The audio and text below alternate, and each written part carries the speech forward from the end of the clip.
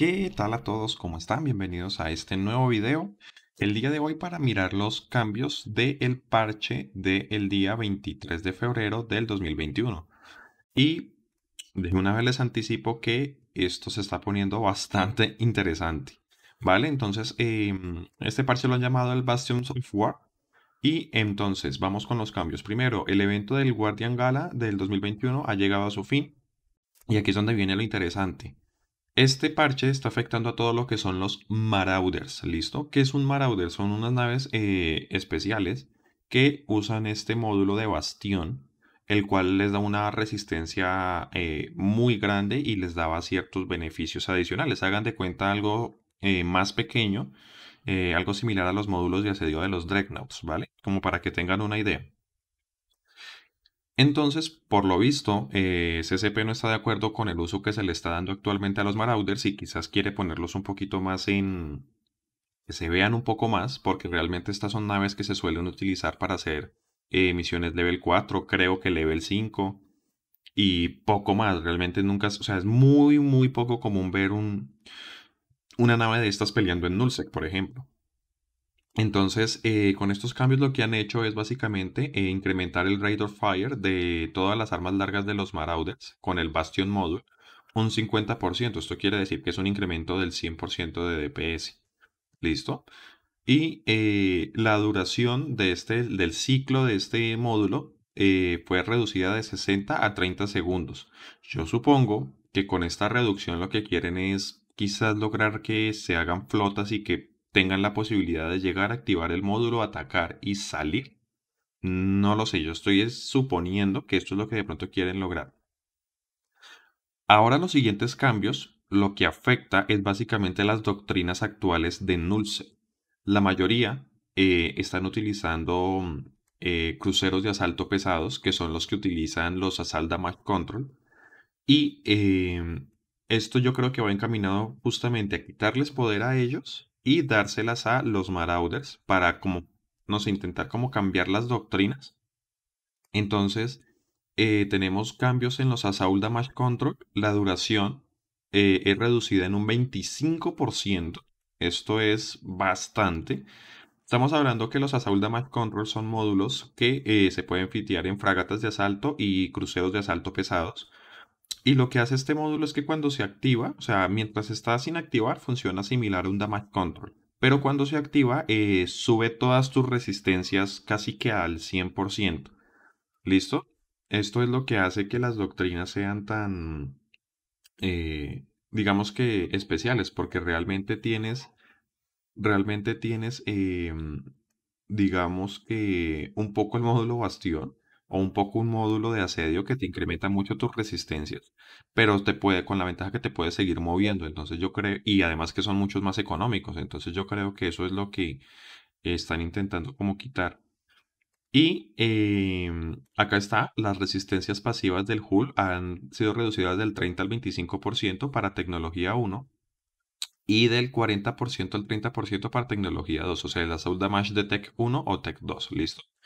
Los cruceros de asalto pesado le han removido la reducción en el Signature Radius, o sea, la penalidad de Signature Radius por el micro Wardrake.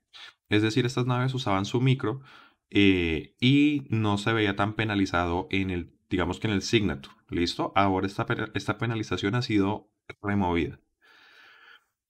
Eh, las probes estas, las Googles, las Stasis Webification Probe, que no, no las he visto la primera vez, la verdad. Tengo como 20 planos, pero no las he visto usar la primera vez. Eh, la fuerza del web eh, ha sido incrementada de un 30 a un 40%, su área de efecto ha sido incrementada de un 10 a un 15% y em, es, esta reducción ha sido esto ha sido reducido de un 3 a un 2%. Vamos a ver si con eso eh, es suficiente para que empiecen a ser, a ser utilizadas porque no, es que es la verdad, yo no las he visto. Si alguno de ustedes lo ha hecho y ha visto de pronto un uso muy bueno de estas props, me encantaría que nos lo contaran porque este es el momento en el que yo no las he visto la primera vez en uso en ninguna pelea. Ahora vamos a mirar los cambios que han hecho para todos los Marauders, ¿listo? Entonces hay cambios para todos y hay cambios em, para solo ciertas naves, ¿vale? Entonces, por ejemplo, para los Marauders, eh, el rango de, de lock, o sea, de target, está incrementado en un 30% y su fuerza de los sensores está incrementado en 8. Estas fuerzas de sensores para todo el tema de guerra electrónica. ¿Listo? Eh, el Bargur eh, tiene un 5% de bono de, de mm, tasa de fuego a los proyectiles. se lo cambiaron a un 7,5%. Y a esto sumado al al módulo de bastión, pues es ya una exageración. El paladín eh, tiene un, tiene o sea, tenía un bono de, de cantidad, de capacidad al capacitor de un 10%.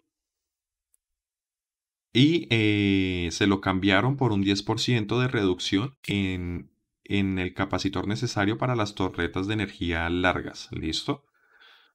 El Cronos eh, tenía una un, un le incrementaron su capacidad de capacitor a 8000 gigajulios eh, y el tiempo de recarga o la tasa de recarga ha sido reducido de 17 minutos a 30 segundos.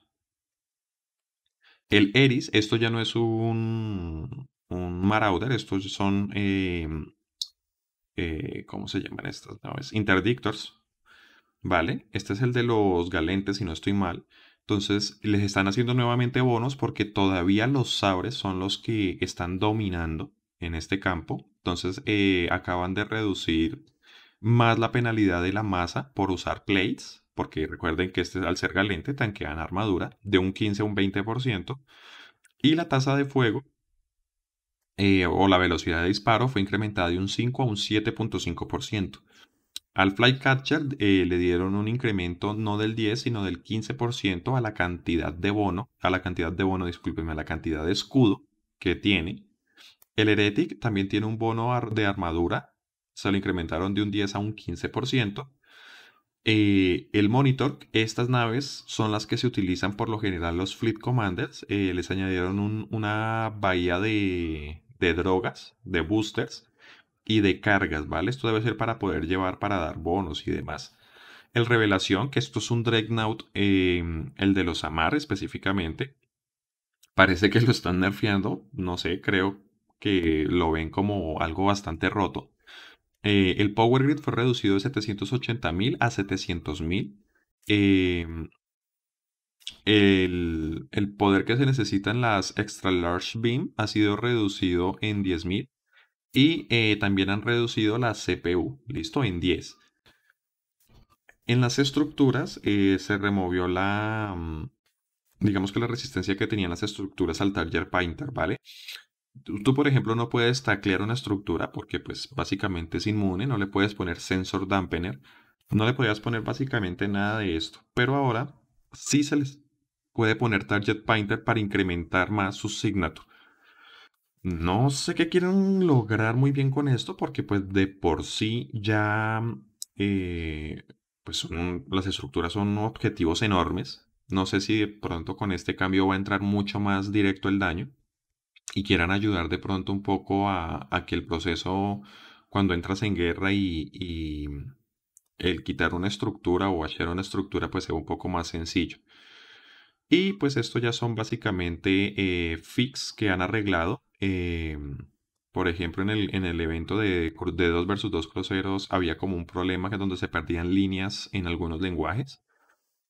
Y, eh, y había un error que, evitaba que la gente actualizara como su fotico del, del juego, ¿vale? Entonces, estos son los cambios, cambios bastante interesantes.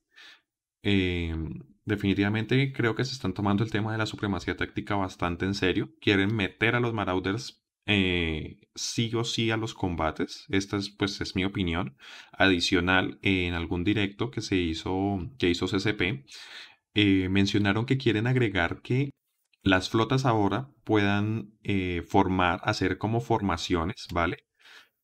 Según lo que quieran lograr para obtener como ciertas ventajas. Entonces esto pinta que se está poniendo bastante, bastante interesante, sobre todo porque no creo que esto vaya a afectar mucho al menos de entrada, eh, a, las peleas grandes, por ejemplo, peleas capitales y demás, pero definitivamente en flotas pequeñas esto va a tener mucha repercusión, porque al ser más ágiles, o sea, al ser que más fluido el combate, una mala formación que no beneficie lo suficientemente a tu flota sí va a, o sea, puede literalmente hacer que exploten en ese momento. Entonces vamos a ver cómo desenvuelven estos, estos cambios durante este, lo que dura este cuadrante. Eh, en cuanto salga o se vea ya algo más claro, más conciso, pues se los haré saber obviamente. Eh, cuéntenos, cuéntenme qué, qué, piensan ustedes de estos cambios, cómo creen que este eh, cambio en los, en los, cruceros pesados va a empezar a, a, modificar las doctrinas de las alianzas, qué creen que pueda pasar. Eh, veremos los Marauders en pelea, no los veremos en pelea. creo que los Marauders sí o sí van a subir algo de precio porque ahora se están poniendo bastante interesantes. Entonces nada chicos, este fue el video de hoy, un video muy rapidito para que conozcan los cambios del parche. No olviden suscribirse, dejar su like, unirse al Discord y estar muy atentos a los sorteos que estamos haciendo. Les recuerdo que sigue abierto el sorteo de tres skins de Vexor, de las Vexor de Partner. Entonces, eh, para que vayan al video, se inscriban a su sorteo y tengan la posibilidad de ganar. Hasta la próxima.